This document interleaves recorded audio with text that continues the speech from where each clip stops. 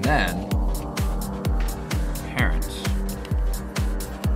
Parent to object. Right here. Great.